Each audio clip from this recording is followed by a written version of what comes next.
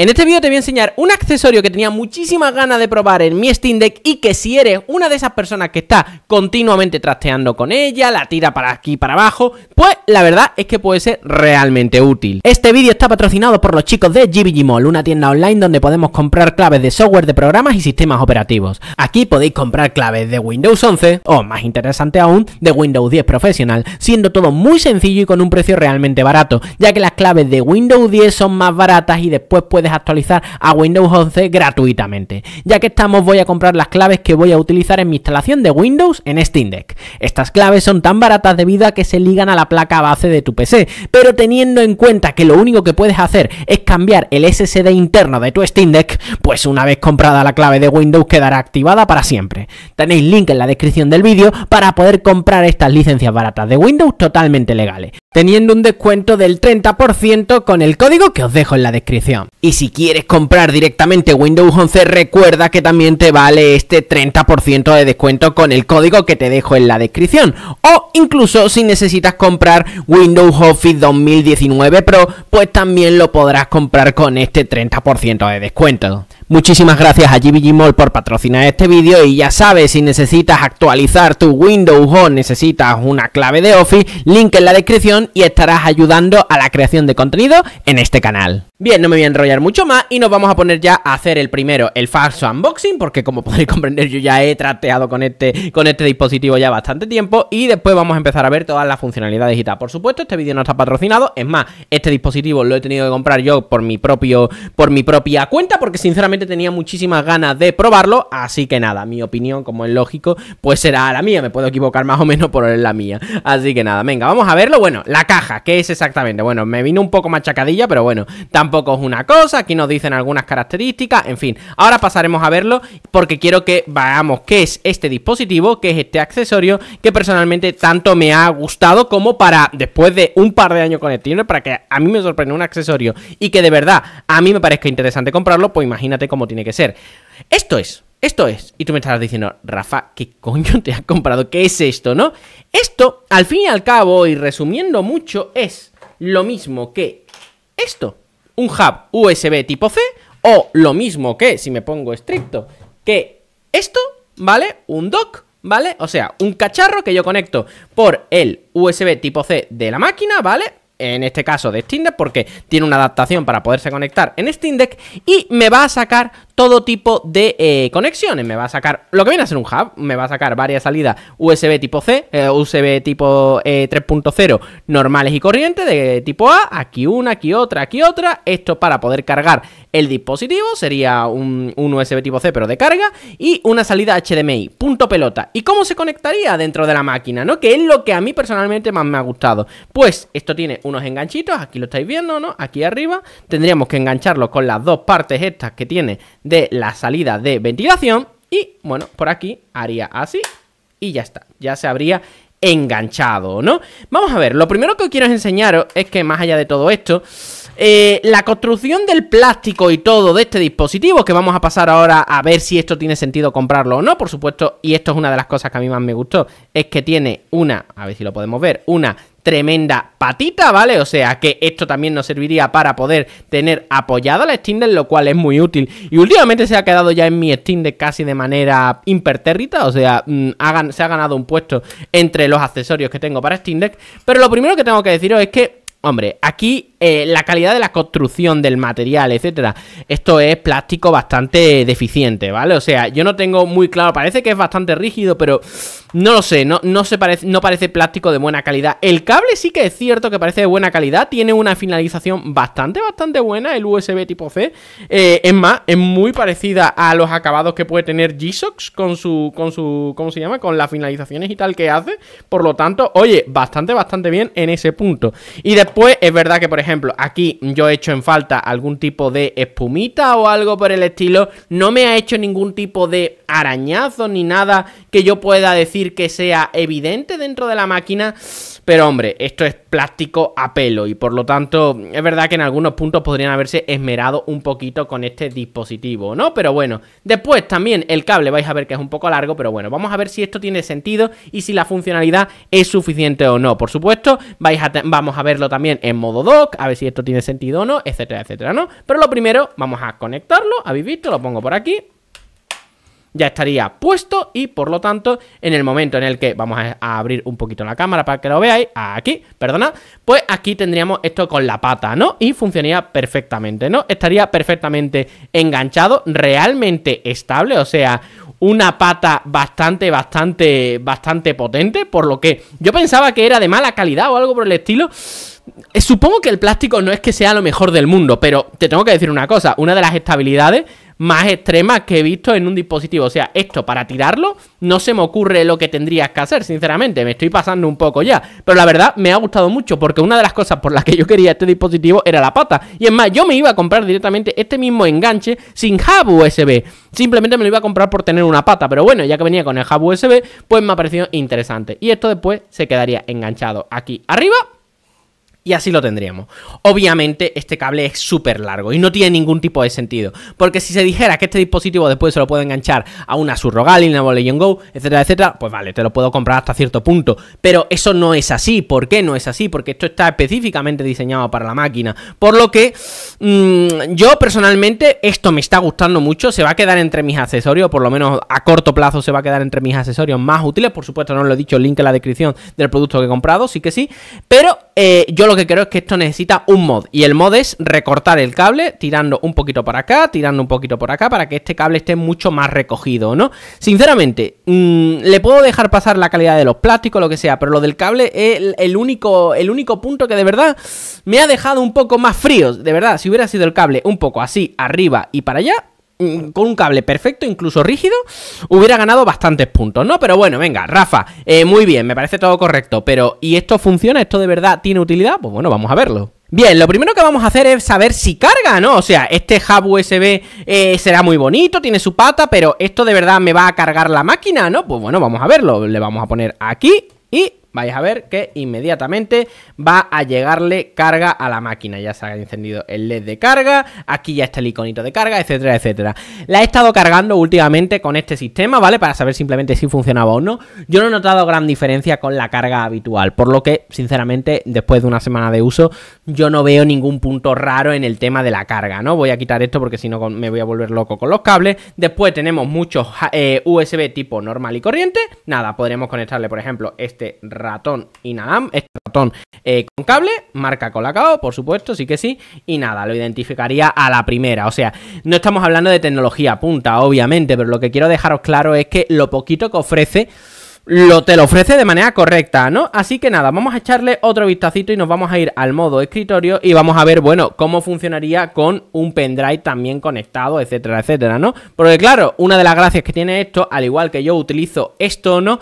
Es, bueno, yo yo siempre digo lo mismo, ¿no? Un hub USB tipo C de este tipo, para mí son básicos, ¿no? Es decir, una salida HDMI para poder tenerlo en la pantalla, un par de USB al menos para poder trabajar con él y después también eh, para poder cargar a la vez, ¿no? Este concepto es el mismo, es ese mismo concepto, pero es verdad que con un plástico un poco más chunguete, ¿no? Que después pasaré a comentar un poco alrededor de cómo sería el tema del HDMI, etcétera, etcétera, ya que este, por ejemplo, es de aluminio, disipa más el calor, etcétera, ¿no? Pero bueno, para nivel de trasteo, a mí este, esta solución me está siendo bastante más que suficiente y más cómoda, precisamente, que este cacharro, que yo lo utilizo bastante más que los docks. Te tengo que reconocer que al final, a la hora de trastear, lo utilizo más que los docks. Una vez en el escritorio, lo que podremos hacer es conectar eso que te he dicho antes, este pendrive concretamente, un pendrive, este en concreto es un pendrive también 3.0, esto salida también 3.0, así que nada, simplemente lo pondríamos, me lo va a identificar a la primera sobre la marcha, muy sin ningún tipo de problema y nada, aquí ya tendría instalado, ya, ya tendría puesto mi pendrive sin ningún tipo de historia, ¿no? Eh, además, en concreto, este es un pendrive que tengo con una, con, ¿cómo se llama? Instalado eh, el sistema operativo de Chimera OS, ¿vale? Para poderlo instalar en otros dispositivos y tal, por lo que, bueno, estáis viendo que no tiene ningún problema, por lo que, el tipo, eh, a efectos prácticos, el uso de hub USB tipo C, pues no vas a tener ningún problema. Bien, vamos a probar ya ahora cómo sería el uso de este dock dentro de Steam ya con una tele en un caso más normal y corriente, ¿no? Lo tendríamos puesto ya por aquí, ¿no? Y simplemente, como ya hemos dicho antes, tendríamos que subir la patita y aquí ya tenemos el hub USB tipo C que tenemos aquí contado. No hay demasiada historia en este punto, ¿no? Por lo que lo único que tendríamos que hacer sería tirar el cable HDMI, no hay mayor historia, claro, estamos ya en un punto en el que esto, por ejemplo, que esto es un dock normal y corriente, sería mucho más cómodo conectarlo y ya está. Esto ya estaría todo conectado y no tendríamos que hacer demasiadas historias. Bueno, aquí sí que tenemos que hacer un poquito más de, cableado. Tenemos que poner el cable USB tipo C y, eh, o sea, USB tipo C, el HDMI. Encendemos la máquina y ya deberíamos de verlo dentro de la propia pantalla de televisión como si fuera un, bueno, un hub USB tipo C normal y corriente con su dock y toda la historia, ¿no? Vamos a hacer algunas pruebas, podremos utilizar yo normalmente juego con este mando de Xbox eh, Series, ¿no? Que va por Bluetooth, pero bueno, para las pruebas aquí no tendría mucha historia porque estamos probando el propio hub USB tipo C que viene con la patita, ¿no? Por lo que vamos a echarle un vistazo mientras que se inicia, vale, perfecto. Vamos a conectarle, pues, bueno, eso, un cable USB, ¿no? Un mando USB normal y corriente. En este caso, un mando, eh, creo que de la marca PDP, no tengo muy claro para no Switch, así que nada un mando normal y corriente. ¿Qué haríamos? Pues tendríamos que conectarlo a uno de los USB múltiples que tenemos alrededor, ¿no? Aquí yo creo que el más cómodo sería este. Y ya está. Ya lo debería haber pillado sobre la marcha, ¿no? Vamos, debería, ¿no? Así que ya está, funciona perfectamente el mando de control.